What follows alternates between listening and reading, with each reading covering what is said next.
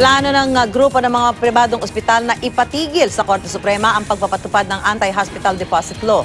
Giit ng Private Hospitals Association of the Philippines, sobra naman daw ang parusa sa mga lalabag sa batas.